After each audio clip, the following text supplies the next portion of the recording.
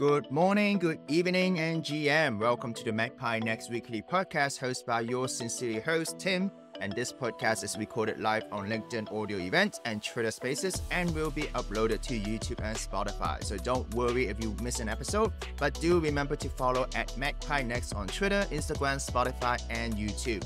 So for those of you who are new to this channel, Magpie Next is a platform created to discover the next big thing in technology.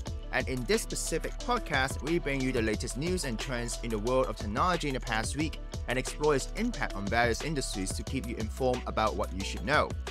Before we continue, please note our standard disclaimer.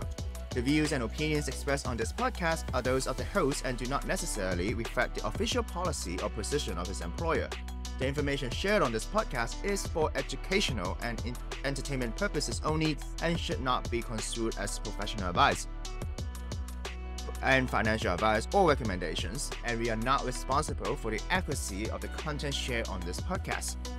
So, we do have a really interesting week, and I think it is really interesting because a lot of big tech companies are starting to come up with new use cases for AI, generative AI, especially like Meta and Google. And a lot of these companies are kind of, from what I understand, is reviewing the past products that they have done and incorporating conversational AI to improve them.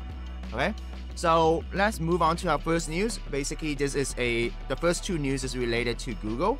So the first news is that Google, a new AI model, basically could now translate vision and languages into robot action.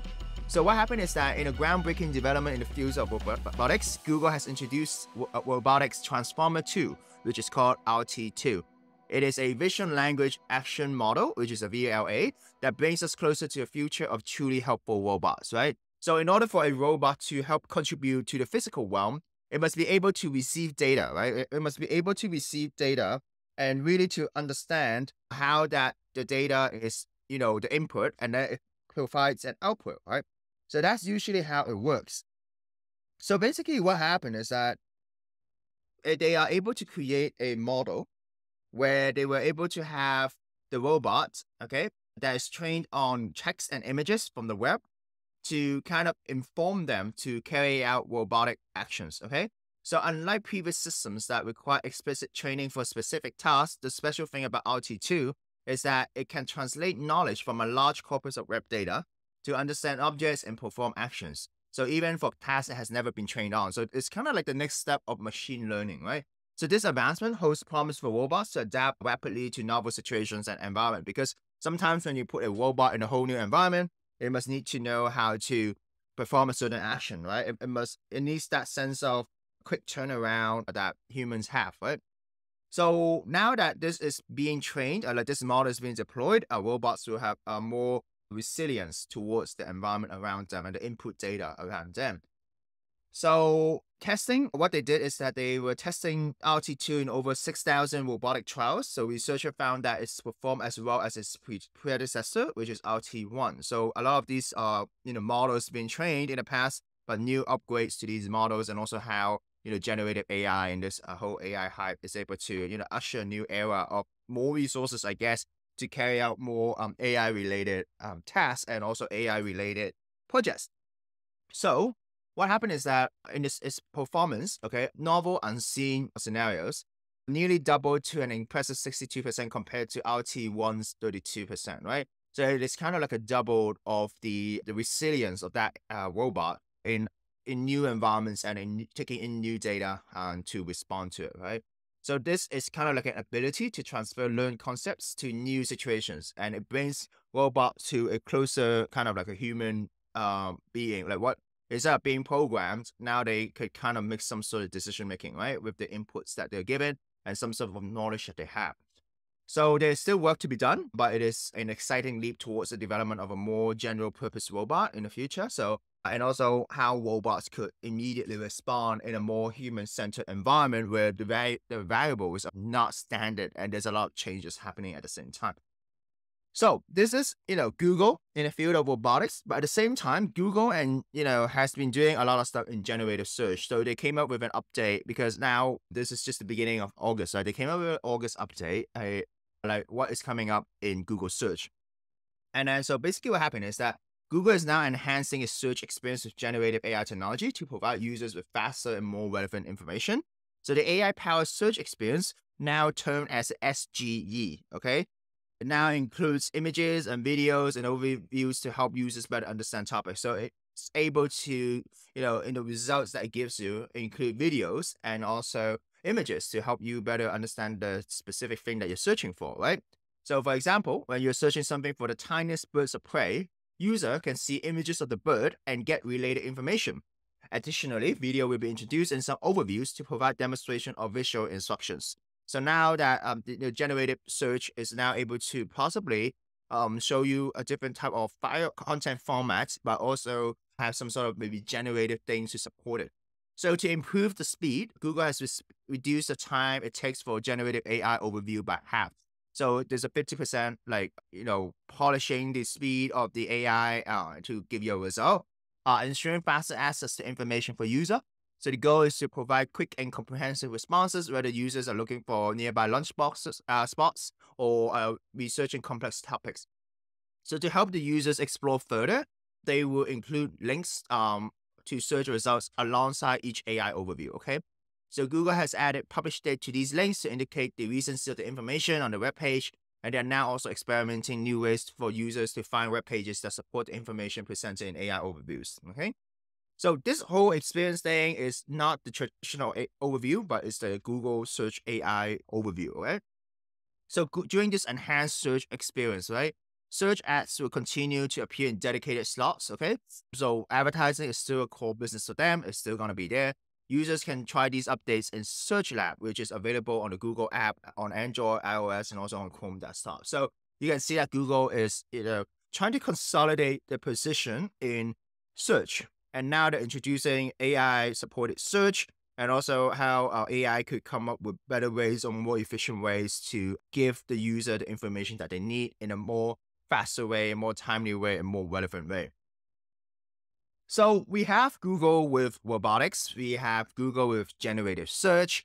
There's actually another really interesting thing, which is I'm not sure if you noticed before, but there's something called a Google Assistant. Okay, so Google Assistant was back created back then when uh, IoT was a hype, right? People were talking about you know smart devices, smart speakers. So Google Assistant is actually a smart speaker. So where what you can do is that you could buy this speaker, you know, log into your Google account, link it with other IoT devices, and then say, hey, hey Google, um, turn on the lights for me. Hey Google, turn on the television for me, and so on, right? So this is how it works, right? But this is actually a AI smart device or smart speaker. And so what happened is that according to some research or some uh, observer, you know, Google is planning a significant overhaul of its assistant, shifting focus to utilize generative AI technology similar to those that powers ChatGPT and Bard chatbot according to an internal email by Axios. Okay, so Axios is kind of like a tech server company entity. So the company aims to transform assistance functionality for consumers. So this is not out yet, but it shows that the internal workings of Google, how they're now looking at you know the past products that they have and adding conversational AI and generative AI to enhance this product. So what they have done is that they have already initiated the work on the revamped assistant, um, starting with the mobile version. So the reorganization of teams working on assistant is underway while the company is making layoffs as part of the shift. Okay. So it's kind of like pivoting to a new thing, like, uh, oh, it's, it's going to be more AI focused. And then there's some internal restructuring, right? So according to the uh, email from Google VP, okay, and, and the director, you know, the company sees vast potential in generative AI and is keen on exploring the possibilities of a supercharged assistant powered by the language, uh, large language model, right? Uh, and then now they're also combining the services and service team under new leadership, operating the mobile team separately, and appointing new leaders for the uh, natural language processing team. Okay, so you know you can see that this is kind of like integrating services across, making the assistant more able to deploy these services by making them to a closer structure. But actually, this, at the same time, besides these layoffs and also uh, organizational restructuring, similar moves are being made by other companies like Amazon, which is working on an AI-powered reboot for its digital assistant, Alexa. And uh, both Google and Amazon has been redirecting the efforts away from traditional digital assistant in the past year to more generative AI assistants. And so that the whole experience will be more conversational. you know, sometimes what I think about, you know, AI and so on, generative AI, and also especially conversational AI, is that you will see a lot of companies trying to de-intermediarize something like that, right? Basically, removing certain middlemen. For example, in the past, let's say if you buy an ad, okay, on Google, right, you could do it yourself, or you could hire someone to do it for you with an expertise in that. But now you can see that a lot of this is being done with a chatbot, right? So instead of having uh, to talk with that person, your requirement, you will be typing into a text box or recording your voice, and then it will use a conversa- conversational way, like, oh, what ads do you want to buy? When do you want to buy it? How you want to buy it? And so on and so on. So it's much easier to buy that ad. But the issue with this is that, you know, robots or maybe AI is more straightforward, right? there are some industry norms or there are some industry knowledge that AI might not have, which is very hard to train because it changes from time to time and it, it comes from experience. So to a certain extent, it kind of like you can see that a lot of these companies or platforms are pivoting towards a more conversational way of making things happen. But by removing those people in the middle, you kind of lose another layer of expertise, and that expertise could be crucial to a success and failure of a campaign. So I think it's interesting to see that. So moving on to the next news, um, Stack Overflow. You know, Stack Overflow is a platform used collaboratively by a lot of people uh, or companies um, to work on projects, programs, and so on. They have decided to introduce an AI roadmap. So what they have done is that they have reviewed a roadmap for integrating generative AI on the public platform. So uh, Stack Overflow for Teams.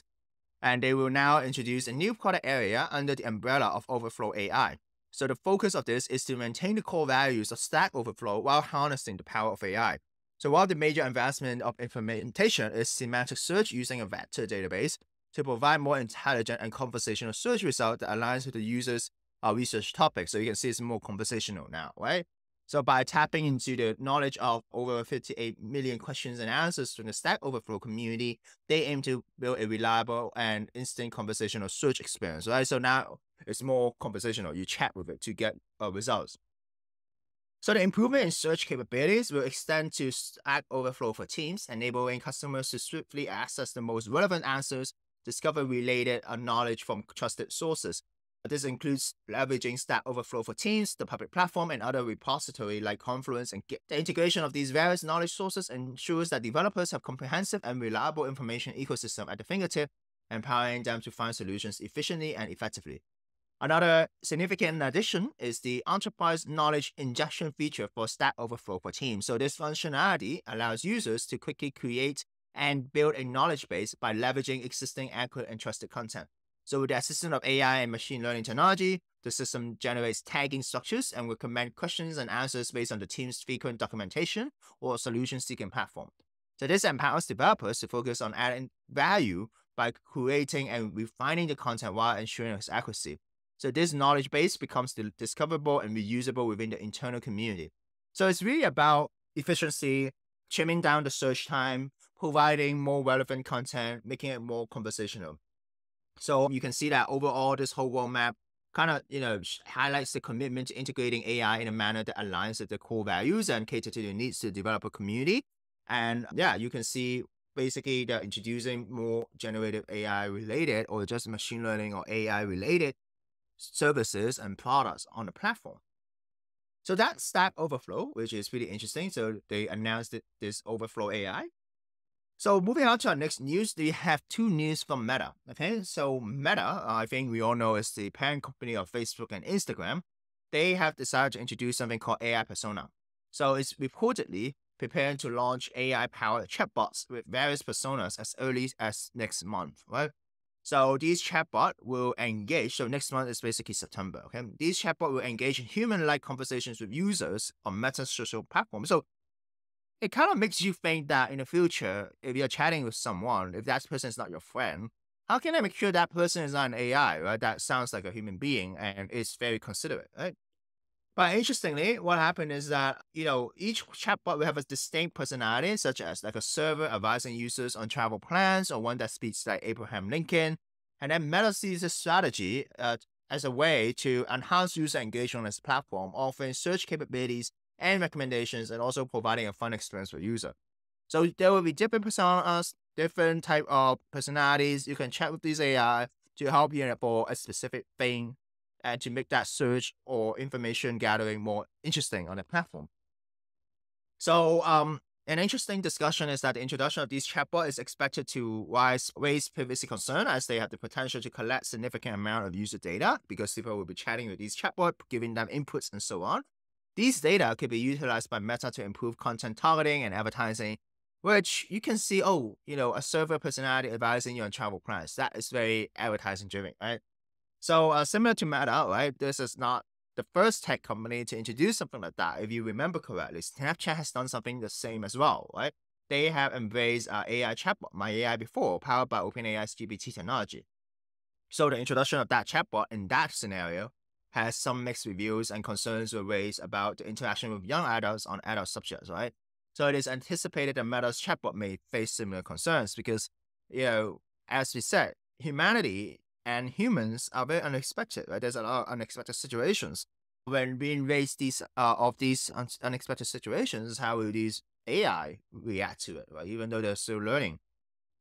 So it's really interesting to see how during Meta's recent earning calls, CEO Mark Zuckerberg mentioned that the company is building a range of AI-powered products and will provide more details later this year. Uh, and then he emphasized the potential for AI to add assistant, coaches, facilitators, or interactions with business and creators and the roadmap is expected to be unveiled at the Connect Developer Conference, which I think is interesting because it's coming in in September.